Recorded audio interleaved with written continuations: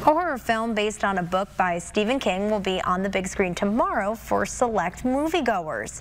But some lucky people in Bangor got to see it tonight.